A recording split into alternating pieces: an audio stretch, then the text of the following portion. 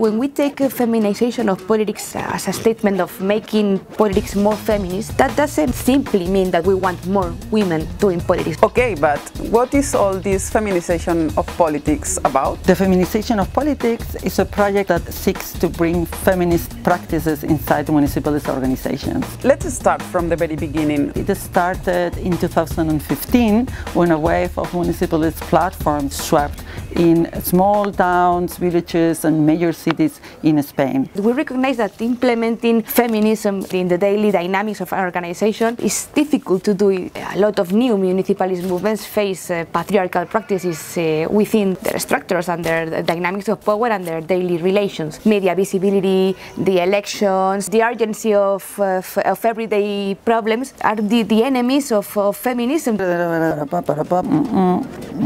This MOOC is the result of the work uh, all these women have been developed since then. We have joined forces to share our problems, our expectations, challenges, obstacles, and also our success stories too, because sharing them we will be able to, to learn from them and to continue spreading our experience and our practices to feminist politics.